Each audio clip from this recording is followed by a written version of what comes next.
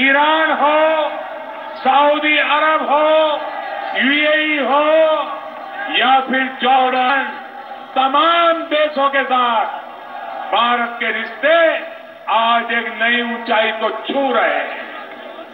दूसरा अफ़गानिस्तान हो या फिलिस्तान, सऊदी अरब हो या यूएई, मालदीव हो या बहरीन इन सब देशों ने भारत को अपना सर्वोच्च नागरिक सम्मान दिया है।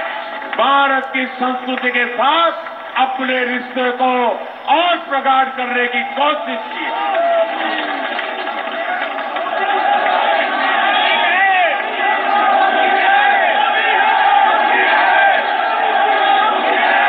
है इसी का परिणाम है कि सऊदी अरब ने भारत से जाने वाले हज यात्रियों को कोटा में अप्रत्याशित रूप से बढ़ बढ़ावा किया।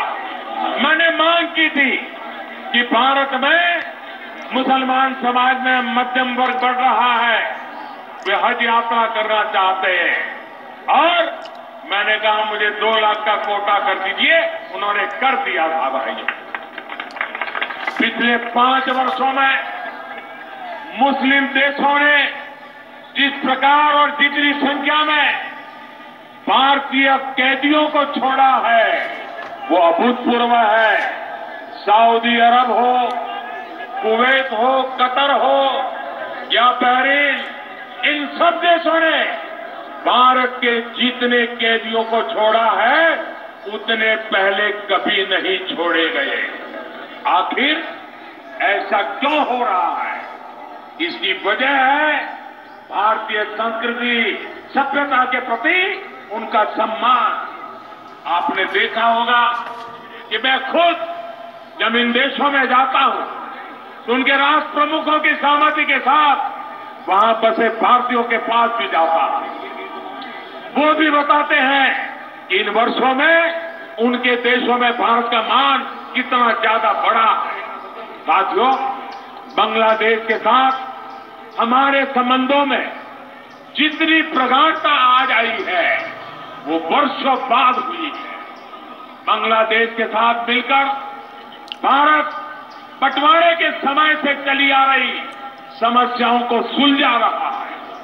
ज़मीन को लेकर विवाद हो कनेक्टिविटी हो रेलवे का काम हो, नए जलमार्ग हो ब्रॉडबैंड का विस्तार हो, बांग्लादेश के साथ हम कंधे से कंधा मिलाकर आज चल रहे थे ये सारी बातें कांग्रेस और उसके साथियों को पच नहीं रही है।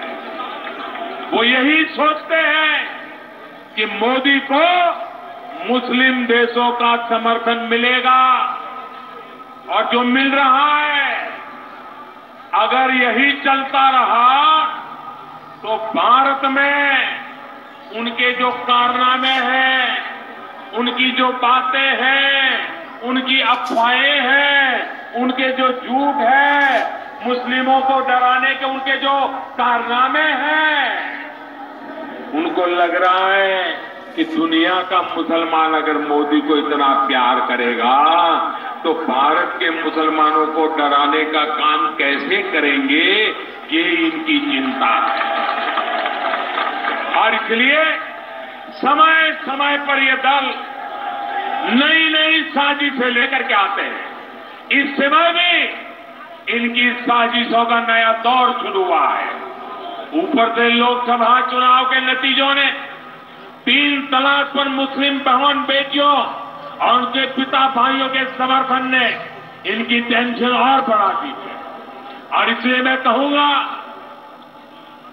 टैप रिकॉर्ड की मत सुने उनके टैप रिकॉर्ड की मत सुनो। हमारे ट्रैक रिकॉर्ड को देखो। साथियों, आप आश्वस्त रहिए। मैं सभी देशवासियों को कहना चाहता आप आश्वस्त रहिए। इन लोगों की साजिशों के बावजूद आपका ये सेवक देश के लिए, देश की एकता के लिए, शांति और सद्भावना के लिए मुझसे जो भी बन सकेगा, मैं कभी पीछे नहीं हटूँगा।